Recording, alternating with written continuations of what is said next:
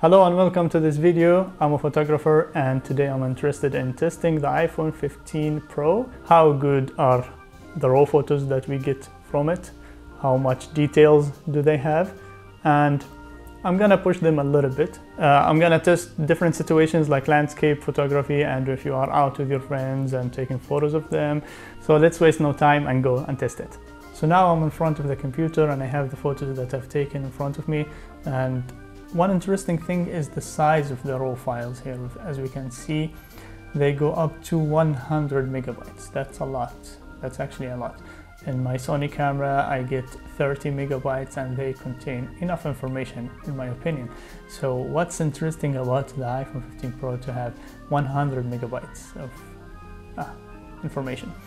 Uh, some of them have uh, 21, 23, but these are from the third camera and they don't have as much uh, resolution as the other one. That's why they are smaller in size. Now let's take an example of a scene that I've taken three photos of at 1x and 2x and 3x zoom levels and let's see the difference between them. First we notice that the file size is different. Uh, 1x have 73 megabytes and the 2x has 21 megabytes and 3x has 22 megabytes. This is 1x, this is 2x, uh, this is 3x. Let's now zoom in and see the details, which one is better. At 1x we can zoom in and we can see that it has good level of details. It is sharp enough.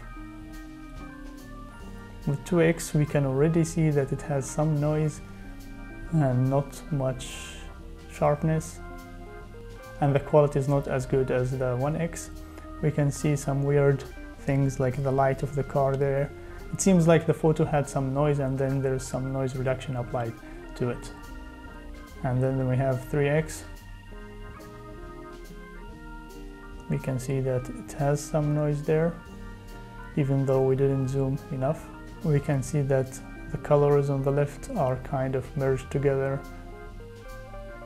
I'm not sure if this comparison was visible in a YouTube video, but to me, I was able to see that the 1X had better quality than the 2X and the 3X, and it's kind of the only one that I can rely on if I want to do professional photography. And now in front of me, I have a photo that I've taken with 1X. We can see that it has good amount of details, and let's try to edit it. First, let's see how much information we can get out of these shadows uh, raw files should have enough information in the shadows so you can bring them up. Let's see. Before and after. This was nice actually. Let's try to edit the colors. Let me try to make the yellow a bit orangey. Let's try to edit the blue color. Nice let's give it a bit of sunset vibes.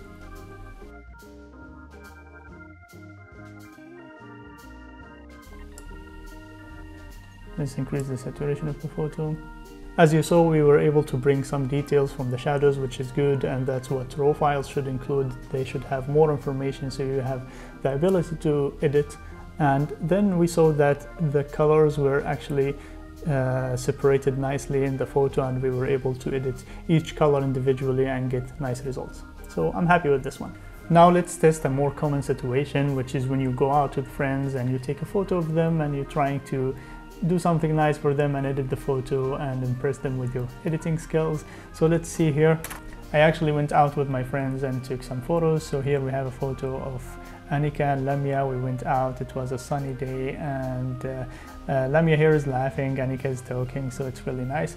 Let's see how can we edit this photo. First thing I noticed that is Lamia is in the shade a little bit. We cannot see her very well. So let's try to brighten her up a little bit. Let's do let's do a local adjustment here and increase the shadows. Let's then play a little bit with the colors, make them a little bit more warm. And play a little bit with the blue color. Then what I like to do is to emphasize that there is some sun by giving it a light beam coming from the direction of the sun.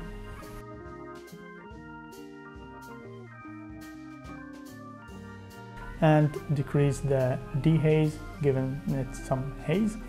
and giving it a bit of warm color. Then let's see how well Lightroom will detect that there is people in the image by select people. As we can see, it has detected multiple people in the image. Let's select Anika and Lamia.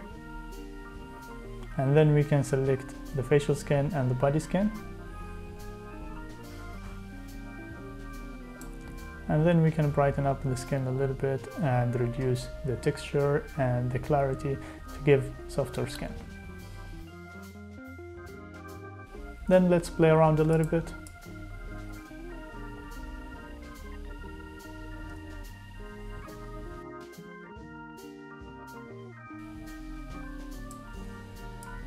And that's it, before and after. Here we can see that the photos you will take of your friends or your nice moments have enough information to edit the colors and to select each individual uh, body feature and then edit it very nicely. And I think this is more than enough. You can take photos of your friends and press them with your editing skills and make them happy. So what if you want to take photos of wildlife or uh, nature? I think it is possible if the subject that you're interested in is not far away or you are interested in the whole scene but if you need to zoom in to focus on one subject then it's not gonna be a very good photo because you're gonna need to use the zoom lens and as we said only the 1x zoom level is what gives you professional quality. As we can see here I've taken this photo in two zoom levels and the one with more zoom I think it was 2x or 3x as we can see, it has a lot of noise, even though it was a bright uh, sunny day and we can see the sky here. It has a lot of noise. Uh, while the other one 1x it was really nice. The sky was clear. There is no noise so it's really nice. Uh, I'm lucky with this situation because I'm not interested in only one bird. I'm interested in the whole scene. So let's try to edit this photo here what I like is the blue color I think we can play around with it we can change it as we can see here but this time I'm gonna do something that I don't do often, which is to make this photo black and white photo. So we make it first black and white and then we go down to editing each color individually. And I'm gonna make the blue color darker. And as we can see, the sky is becoming darker and then we can see the birds more. And there is a higher contrast now. But down in the photo, we can see that there is a bright light coming from below. So let's adjust that a little bit with linear gradient. Make it darker and then adjust the gradient.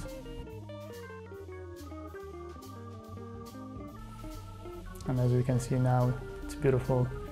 We can see the separation between the foreground and the background. There is high contrast between the birds and the sky. I'm happy with this.